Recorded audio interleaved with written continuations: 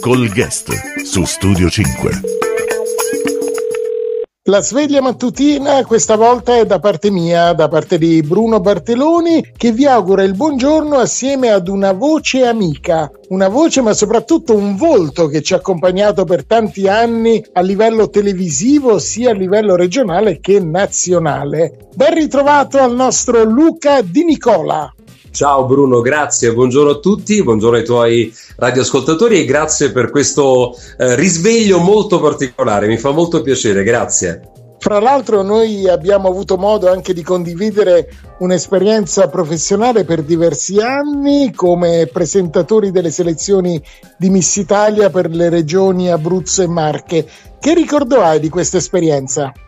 Sì, intanto è vero, siamo stati eh, spesso non, non insieme su palchi separati, anzi, una volta mi ricordo insieme in una finale regionale lì nella tua splendida Pescara, non so se tu ti ricordi, eravamo insieme, io ero sul palco, tu facevi un po' l'inviato, insomma siamo stati anche una volta insieme. Ricordi molto belli Bruno, uno perché eravamo più giovani, diciamo la verità, molto, quindi comunque eh, almeno quando il buon Mimmo del Moro mi chiamò, eh, parliamo del 97-98, insomma ero veramente un, un pischello come si dice a Roma.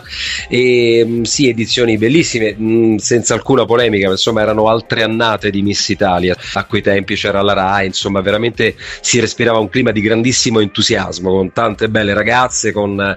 era una bellissima giostra Miss Italia. Poi insomma io ebbi anche la fortuna di presentare per due edizioni le prefinali nazionali che per molti anni si svolsero nella Riviera delle Palme, lì nella bella San Benedetto del Tronto, quindi insomma tanti bei ricordi, alcuni dei quali anche condivisi con un caro amico quale ti reputo insomma.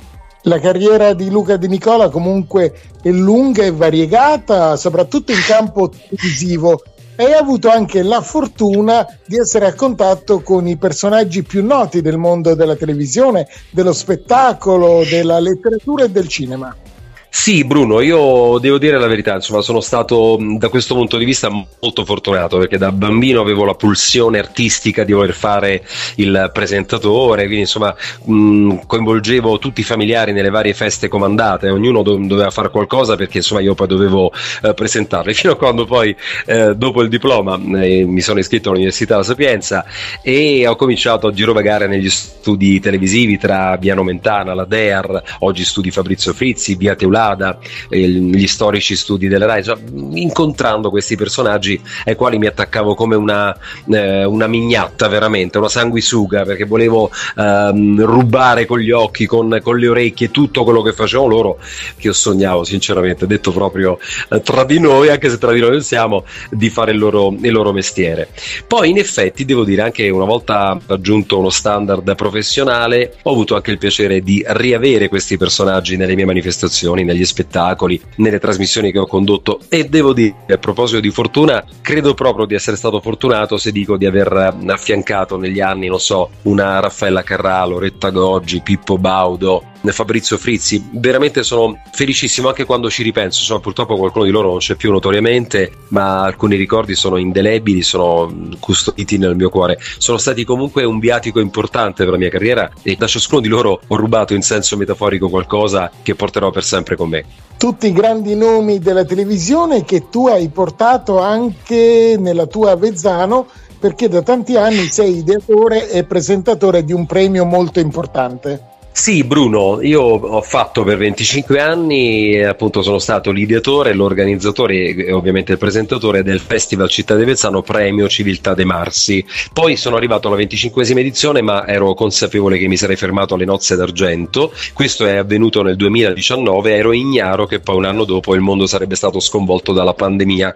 Io in realtà avevo pensato di ritirarmi, di chiudere questa manifestazione appunto quell'anno devo dire alla luce col seno del poi, insomma, ho fatto bene, anche perché io mi sono fermato ad aprile del 2019 e poi appena dopo 7-8 mesi è successo quello che ricordiamo e che vorremmo tanto dimenticare. E, e in quella manifestazione veramente il gota della televisione è passato, sì, li ho portati tutti, tutti, tutti, tutti, proprio nessuno escluso.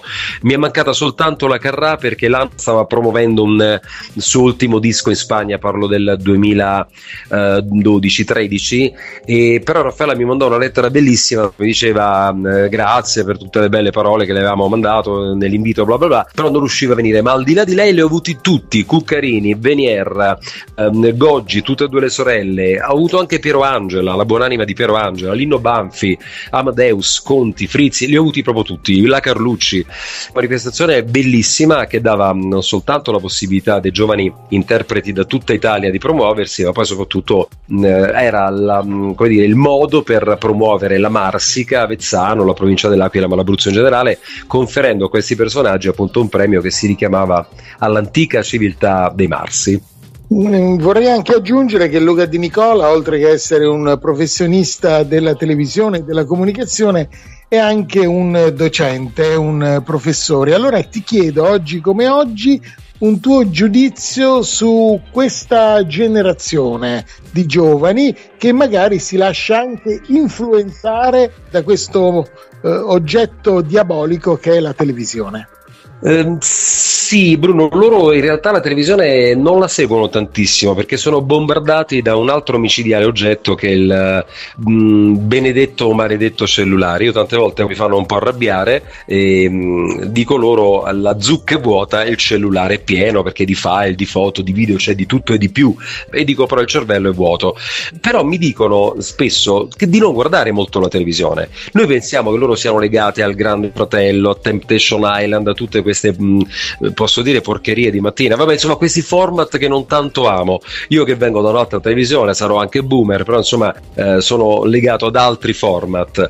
Loro in realtà seguono pochissime cose. Ecco, non gli parlare di telegiornali, non gli parlare di queste cose perché non gliene frega nulla, purtroppo. Loro si dicono informatissimi attraverso altri eh, canali, bene, però non guardano molto la televisione. Poi c'è anche invece chi è legato, che ne so, uomini e donne, chi ehm, sono influenzati da, queste, da, quel, da quello che vedono, sì, abbastanza abbastanza perché pensano per esempio che la cultura non serva tantissimo, che serva invece piuttosto il fisico prestantissimo, quindi più forma che contenuto.